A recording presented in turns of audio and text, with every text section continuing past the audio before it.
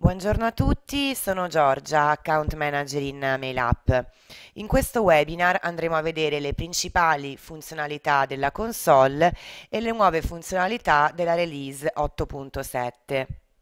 Quando accediamo in console troviamo queste 5 voci di menu, ovvero messaggi, ci dà la possibilità di scegliere attraverso quale canale di invio andare a creare ed inviare le nostre comunicazioni il menu statistiche o per singolo iscritto o per singolo canale di invio, il menu destinatari che riguarda tutto ciò ehm, che appunto concerne il database, marketing più con una serie di funzionalità avanzate come i filtri e gli invii automatici e il menu configurazioni.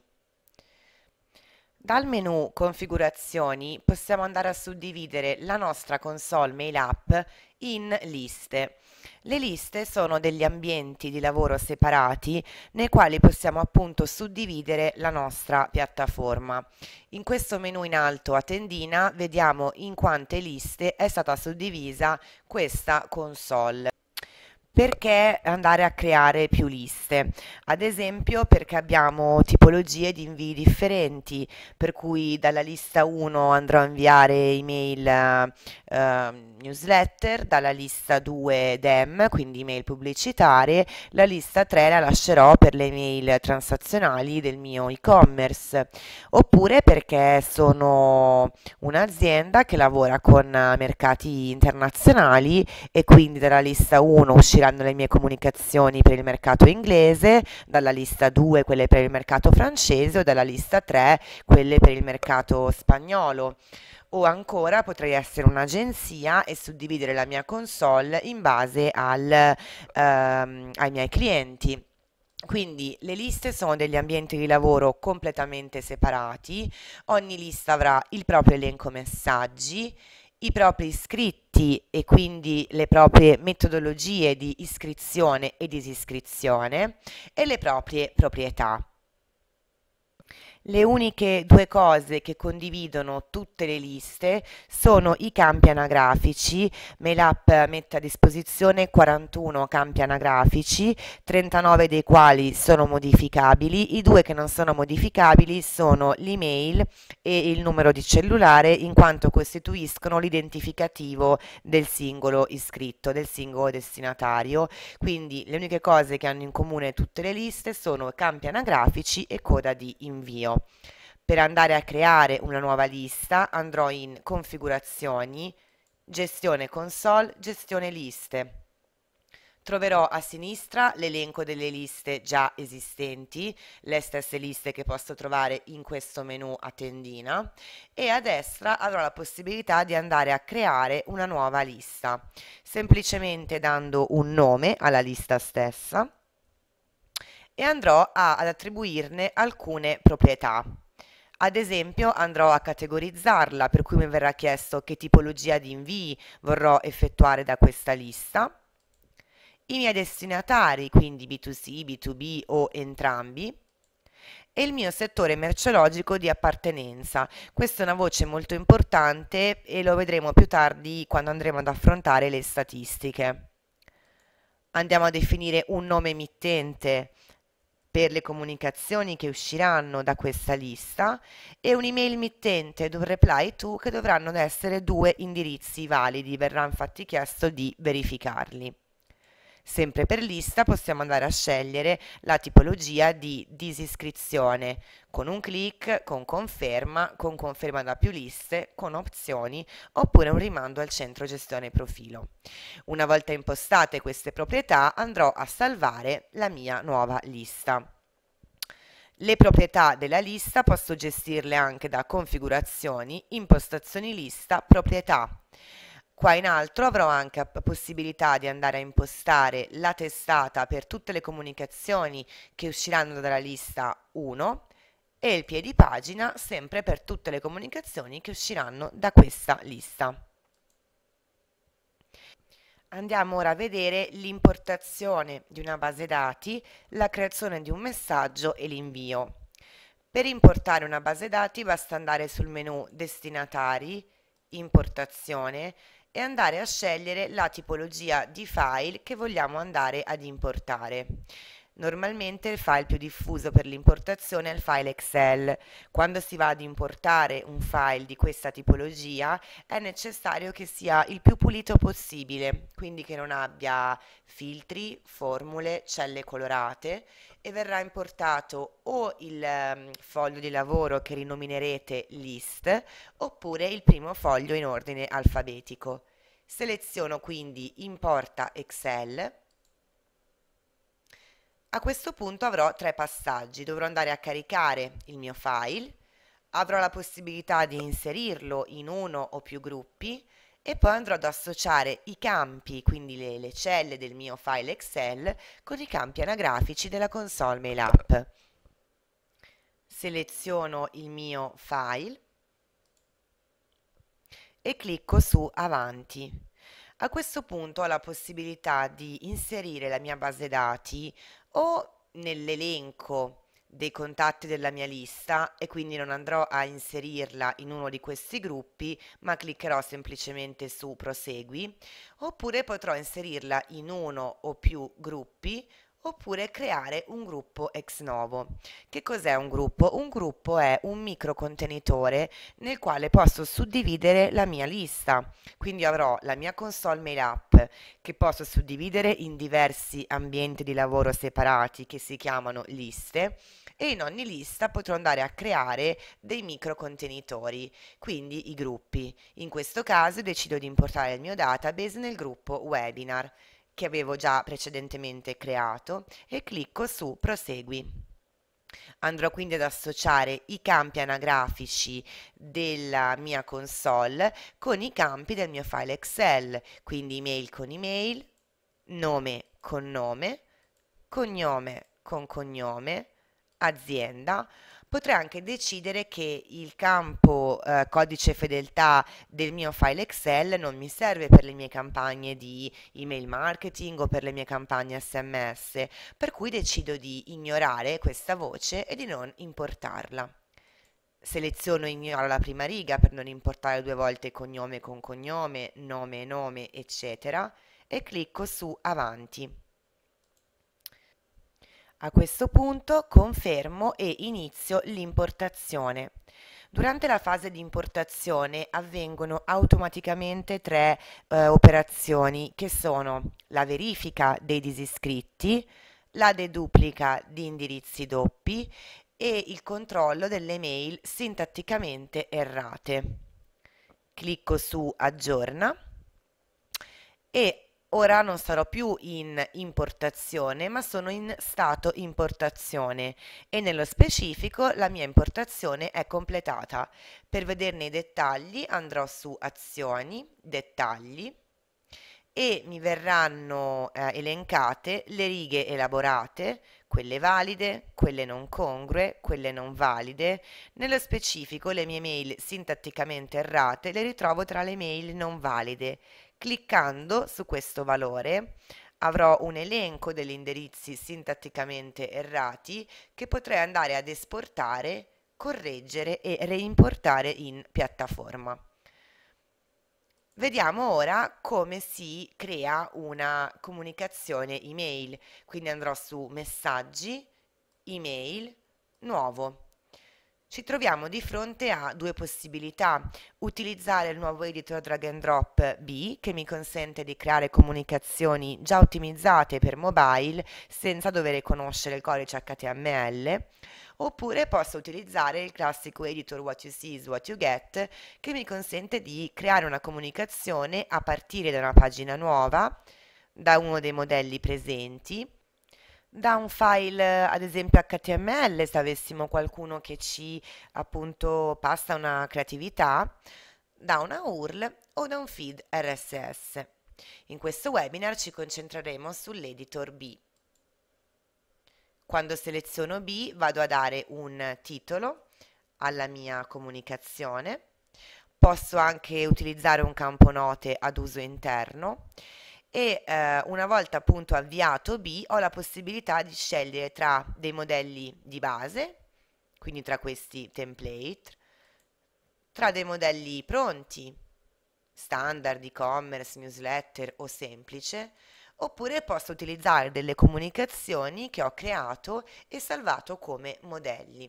I modelli li ritroverò anche in email modelli. In questo caso andrò a scegliere un modello di base ad una colonna. Avrò in alto la possibilità di cambiare lo sfondo per tutta la comunicazione, il ehm, messaggio, quindi andare a ingrandire il messaggio di, relativo a tutta la comunicazione e potrò dare anche un bordo a tutta la comunicazione. Troverò al centro il layout che ho scelto. Quando passo tra un modulo e l'altro avrò questo perimetro arancione. Con questo pulsante posso andare a spostare il modulo su cui sono, posso andare a cancellarlo con il pulsante del cestino oppure posso duplicarlo o a destra o in basso. Quindi, come uh, avrete intuito, l'editor B si uh, distingue, si suddivide in moduli. Abbiamo al centro quelli relativi al layout che abbiamo scelto, ma possiamo anche implementarli utilizzando i moduli che troviamo alla nostra destra. Abbiamo infatti moduli di testo, moduli di immagine, moduli misti, quindi di testo immagine e immagine testo, gruppi di immagini, divisori, bottoni, social, bottoni per la call to action e moduli social. La prima cosa che noterò è che in questo layout manca un modulo social, quindi andrò a cercarlo tra i miei moduli e andrò a selezionarlo, spostarlo e rilasciarlo all'interno della mia comunicazione. Cliccando sul modulo a destra non avrò più l'elenco dei moduli, ma le proprietà del modulo stesso. Posso per tutti i moduli andare a modificare lo sfondo, il bordo e il margine. Adesso andrò a collegare la mia pagina, la pagina dei miei social, quindi la mia pagina Facebook, Twitter, il mio account LinkedIn o potrò anche andare a cancellare quelli social che non mi, non mi servono, che non utilizzo, che per questa comunicazione non voglio andare a collegare e ad inserire. Posso inoltre andare a modificare le icone, quindi posso volerle colorate e non quadrate ma tonde. Le vorrò allineate al centro. Altri moduli sono ad esempio i moduli relativi alle immagini. Posso andare a trascinare le immagini in modalità drag and drop dal mio desktop oppure posso andare a caricarle e andare a scegliere tra le immagini che ho salvato nelle mie cartelle o per console o per lista. Per creare una nuova cartella basta cliccare su questa icona oppure posso andare a importarle da i miei social network come Facebook, Instagram, oppure posso andarle a prendere dal web. In questo caso bisogna fare ovviamente attenzione al copyright. Andrò a prendere un'immagine che ho salvato nelle mie cartelle e questa immagine posso renderla linkabile, quindi posso andare a scrivere la URL a cui voglio che eh, punti, in questo caso la farò puntare al mio eh, sito. Posso inserire un testo alternativo, anche per questo modulo come per tutti i moduli di B posso andare a modificare lo sfondo, il bordo e il margine e volendo potrò andare anche a modificarla questa immagine.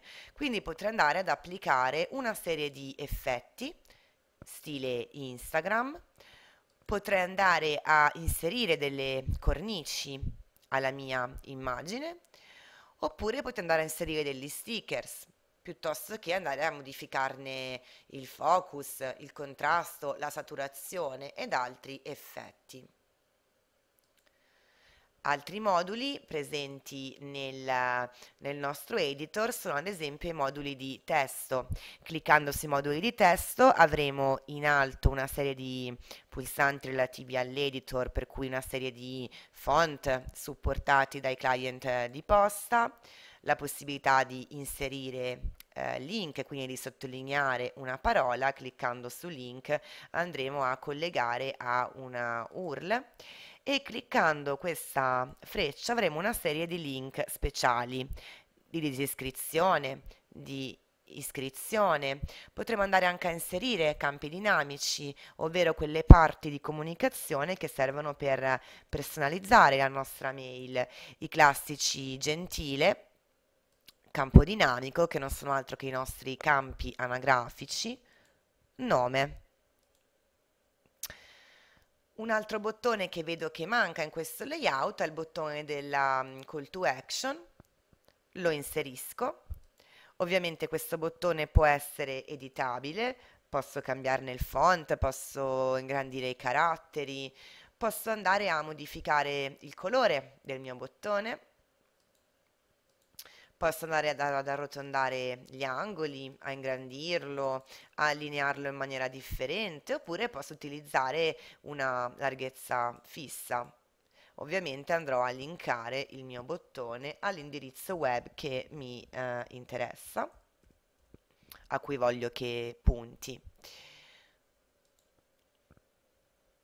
Quindi una volta che ho implementato il mio layout con, con, i moduli che trovo a lato, posso andare anche a vedere un'anteprima della mia comunicazione, anteprima su desktop o anteprima su mobile. Vado a salvare la mia comunicazione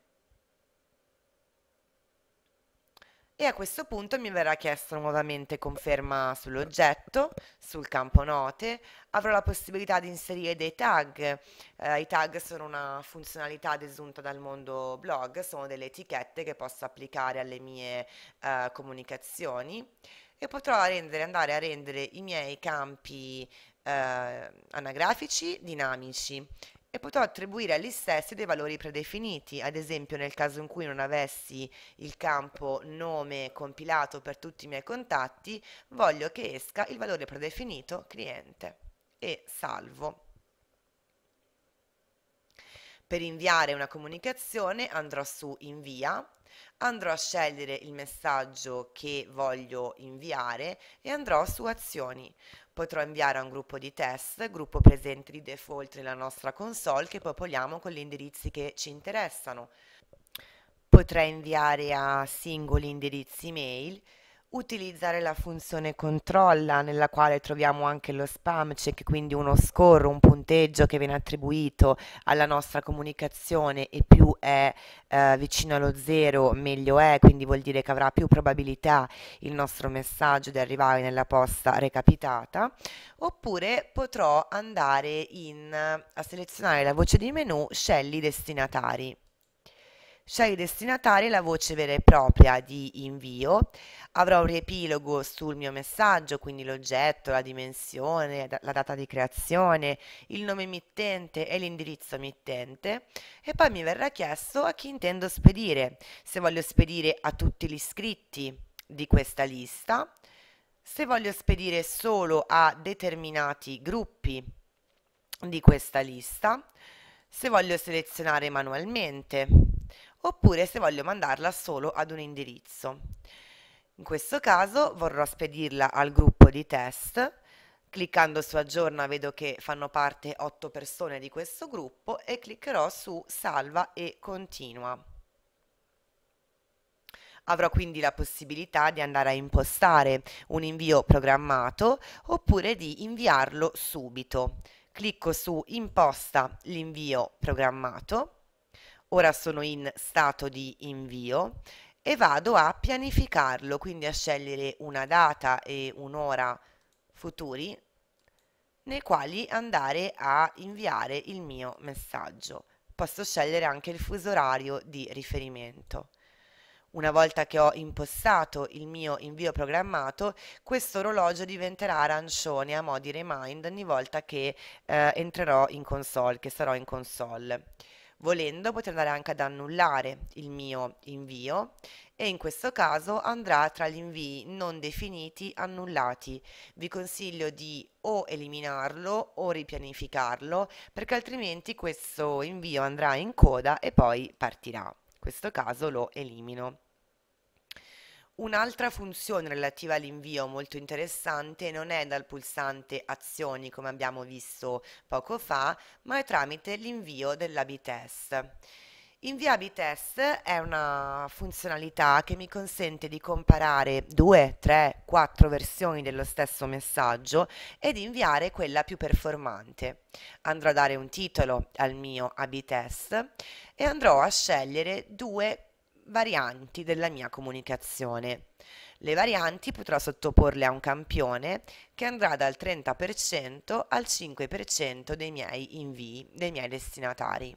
In questo caso ho scelto di comparare la comunicazione webinar a mail up webinar, quindi sono due comunicazioni che hanno un oggetto differente e infatti i criteri di vincita possono essere o il miglior tasso di apertura e in questo caso andrò a lavorare su un oggetto diverso, quindi sul, um, sul copy del mio, del mio oggetto, oppure il miglior tasso di click, in questo caso andrò a, andrò a lavorare sulla mia CTA, sulla mia call to action in termini grafici, in termini di um, copy, uh, in questo caso appunto hanno un oggetto diverso, quindi andrò a selezionare il miglior tasto di apertura e dirò Uh, di inviare o automaticamente dopo n ore la comunicazione vincente tra queste due al restante 80% dei destinatari oppure potrò andare a uh, spedirla io manualmente. Quindi la B-test serve per comparare due versioni di una eh, nostra comunicazione, di una nostra email, scelgo io a quanti contatti andare a sottoporla in base ad un criterio di vincita che può essere il miglior tasso di apertura o il miglior tasso di click. Abbiamo quindi visto l'importazione di un database, la creazione di un messaggio, l'invio. Andiamo quindi a vedere alcune funzionalità avanzate di Marketing più. Marketing Più ci consente di andare a creare dei filtri o per anagrafica, quindi ricercando tra i campi anagrafici dei valori, o per attività, quindi su azioni che i nostri destinatari possono o non possono avere compiuto. Ci sono inoltre filtri geografici, filtri per dispositivo e filtri per sistema operativo. Andiamo a vedere i filtri per anagrafica. Filtri per anagrafica avremo a sinistra l'elenco dei filtri già creati, già esistenti e a destra il pulsante nuovo per andare a crearne degli altri. Vi faccio vedere come è stato creato ad esempio questo filtro Milano ho selezionato la tipologia del filtro, quindi un filtro per anagrafica, ho dato un nome al filtro, l'ho chiamato Milano e poi ho impostato le condizioni dello stesso. Quindi ho detto vai a cercare nel campo anagrafica città, che cosa? Un carattere, un numero e se un numero un numero intero, un numero decimale piuttosto che una data in questi diversi formati. In questo caso voglio cercare mm, Milano per cui andrò a inserire un carattere la regola logica sarà che il campo anagrafico città dovrà contenere un carattere per cui contiene like e nello specifico il carattere avrà appunto il valore che andrò a scrivere qui sotto, quindi in questo caso Milano. Salvo e ritrovo il mio filtro appunto nell'elenco dei filtri per anagrafica. Come posso utilizzare ad esempio un filtro? Quando vado in destinatari, elenco email, opzioni avanzate di ricerca, filtri, posso andare a cercare tra i miei 115 destinatari tutti quelli che rispondono al mio filtro per anagrafica e vado a selezionare il mio filtro Milano e a cercare quali contatti rispondano a quel campo anagrafico, a quel filtro che io ho creato. Oppure potrei utilizzarlo in fase di invio. Quando vado su messaggi, email, invia, azioni, scegli destinatari, posso decidere di inviare una comunicazione a quei contatti, cioè a quelli iscritti che rispondano a un filtro per anagrafica ad esempio appunto vado a selezionare il filtro che mi interessa e quindi andrò a dire alla mia console di inviare il messaggio agli iscritti di questa lista che rispondono al filtro Milano. quindi posso utilizzare i filtri in fase di ricerca eh, destinatari, in fase di invio oppure tramite eh, oppure con gli invii automatici. Gli invii automatici, ad esempio, seleziono nuovo Facciamo come, se, facciamo come esempio il compleanno, voglio mandare un invio automatico ehm, al compleanno dei miei eh, destinatari, quindi andrò a crearmi, avrò un campo anagrafico compleanno, avrò creato un filtro anagrafico compleanno. E andrò a decidere la frequenza di attivazione del mio invio, le condizioni del mio invio e che cosa dovrà succedere quando queste condizioni si ehm, verificheranno. Quindi se si tratta del compleanno, il criterio di ricorrenza sarà giornaliero e vorrò che venga verificato al mattino presto per mandargli gli, gli auguri. Che cosa dovrà essere verificato? Che sia vero il filtro per anagrafica e andrò a cercare il mio filtro compleanno e quando il mio filtro compleanno sarà eh, verificato potrò decidere se inviare una mail mantenendo email mittente, nome mittente e andare a, a scegliere la mail che voglio inviare oppure se inviare un sms al mio, eh, ai miei destinatari. Vediamo ora le eh, nuove funzionalità della release 8.7. Andando in configurazioni, impostazioni lista, moduli di iscrizione, abbiamo tre novità. Il bottone di iscrizione, quindi la possibilità di creare un bottone che linki a un form di iscrizione. I moduli modificabili, i nuovi moduli modificabili sono moduli drag and drop, quindi con la stessa logica dell'editor B, basterà trascinare delle, degli elementi e l'integrazione con i servizi Padiact. Vediamo come creare un form di iscrizione drag and drop. Avremo i moduli modificabili eh, come appunto eh, c'erano nella vecchia eh, release e poi la possibilità di creare un modulo di iscrizione drag and drop. Andrò quindi a dare un nome al modulo, ad esempio iscriviti alla newsletter mail app potrei anche descrivere, dare una descrizione di, di, questo modulo e poi vedrò alla destra una serie di, ehm, appunto di moduli che possono fare parte di questo form. Avrò ad esempio il titolo del modulo, seleziono, trascino e rilascio. Con questa matitina posso andare ad editare il mio contenuto e quindi posso andare a scrivere ad esempio iscriviti alla newsletter e salvo. Posso andare a inserire la mail questi non sono altro che i campi anagrafici, cioè quelli che compileranno i nostri destinatari, sono i campi anagrafici che avrò in console e quindi ad esempio la mail so che è, uno del, che è un campo non modificabile in quanto fa parte dell'ID, quindi è un campo obbligatorio e quindi lo selezionerò come campo richiesto. Potrò anche inserire un segnaposto, quindi andare a dire uh, inserisci la tua mail oppure inserisci qui la tua mail e anche scrivere una descrizione. Quindi quando invii il modulo controlla la tua inbox per confermare l'iscrizione. Salva.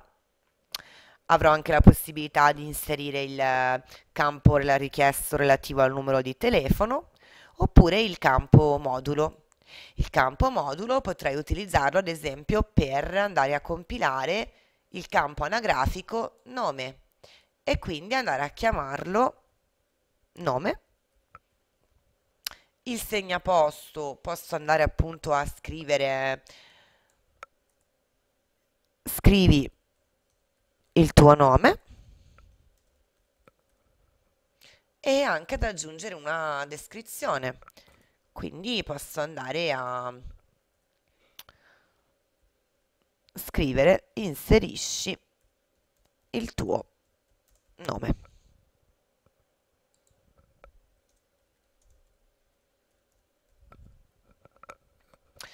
E posso metterlo come campo obbligatorio. Il menu drop down e il menu bottoni radio ci consentono di andare a proporre, a fare mm, sì che il nostro destinatario compia una scelta singola tra diverse opzioni. Ad esempio, potrei andare a chiedere la città, quindi selezionerò il campo anagrafico città e scriverò come etichetta città. Andrò ad aggiungere una descrizione, ovvero andrò ad aggiungere seleziona la tua città e andrò a eh, fare un elenco di opzioni tra le quali potrà scegliere una sola alternativa, per cui Milano, Roma, Firenze, eccetera. Questo non voglio che sia un campo obbligatorio e salvo semplicemente. Checkbox invece mi consente di effettuare scelte multiple, posso anche scegliere a quali liste e a quali gruppi fare iscrivere il mio eh, contatto. Ovviamente le liste e i gruppi sono le uniche due voci che non si riferiscono al, ai campi anagrafici. Inserisco un bottone di invio ovviamente anche qui posso andare a modificare la mia etichetta. E a questo punto posso andare a scegliere lo stile del mio modulo. Blu, nero, grigio, verde. Posso vederne un'anteprima. Ottenere il codice HTML o un link Oltre ai moduli di iscrizione abbiamo la possibilità di andare a generare un bottone di iscrizione, anche qui in maniera molto semplice, selezionando uno stile, inserendo un bottone,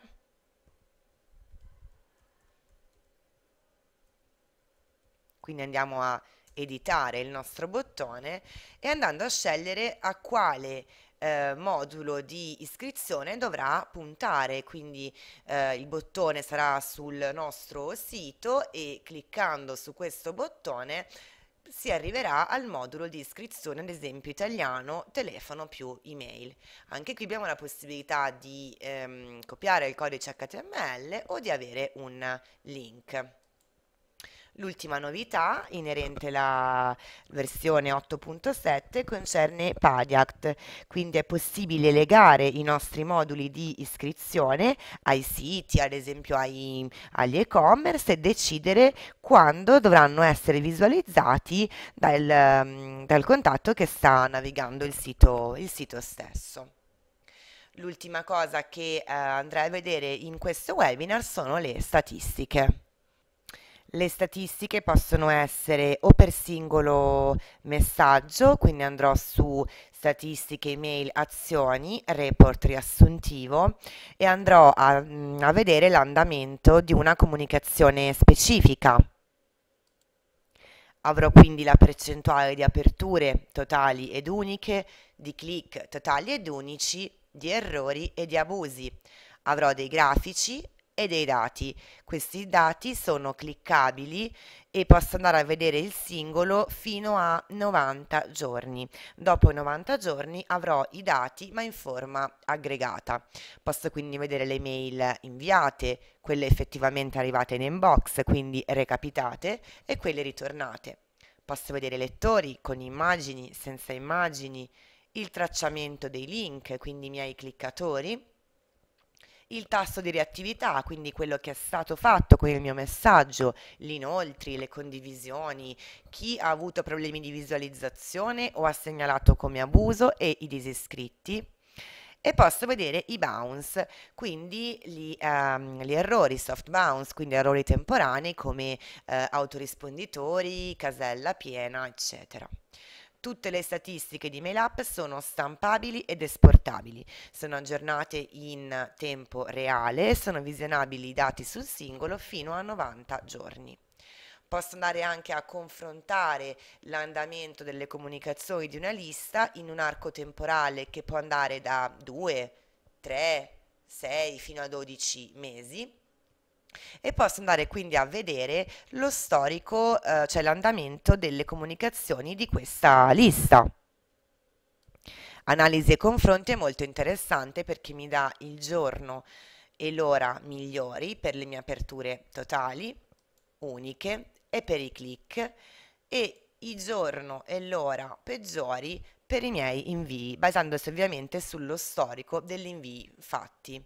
Un'altra voce molto interessante di analisi e confronti è il fatto che confronti le mie performance, le mie conversioni con un benchmark di settore e con un benchmark globale. Quindi quando all'inizio nella lista abbiamo specificato il nostro settore merceologico di appartenenza, Uh, in questa sezione delle statistiche, quindi in statistiche, email, analisi e confronti, possiamo vedere se ad esempio uh, le nostre performance sono minore, minori rispetto a quelle degli altri clienti mail app del nostro stesso settore. Quindi quando comparirà questo triangolo potremo andare a vedere tramite l'aiuto, come ad esempio aumentare i lettori totali, quindi andremo a vedere una serie di consigli di email marketing. L'ultima tipologia di statistiche sono i report aggregati. I report aggregati ci consentono di comparare comunicazioni di liste differenti, quindi se in tutti i messaggi vedevo l'andamento di una comunicazione specifica, se in analisi e confronti potevo vedere l'andamento delle comunicazioni di una lista, con i report aggregati posso confrontare comunicazioni di liste differenti. Mi verrà inoltre data una URL e una password che potrò dare all'esterno per far visionare queste statistiche, statistiche stampabili ed esportabili. Grazie a tutti per aver partecipato a questo webinar, ora proseguiamo con le domande.